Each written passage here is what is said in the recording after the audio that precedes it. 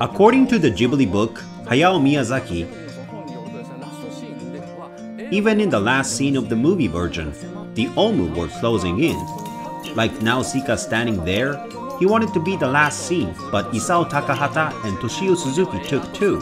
This is not a cathartic movie, let's bring it back to life, they said. So he brought her back to life but he said, well, in the end, it's become a religious movie, but thanks to making a religious movie, the anime version of Nausicaa, it was a big hit. So, Nausicaa will always be Nausicaa. People will think that's what the story is about. And even now, Hayao Miyazaki regrets that he regret making that last scene like that. It's supposed to depict a human being. At the last, he just put a miracle in there on a whim. Toshio Suzuki and Isao Takahata hit on him, and he just put in a miracle.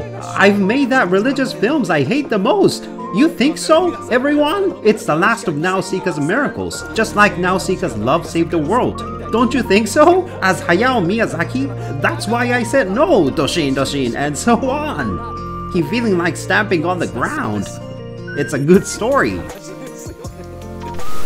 岡田斗司夫の YouTube を見てくれてありがとうございます。ぜひぜひチャンネル登録よろしくお願いします。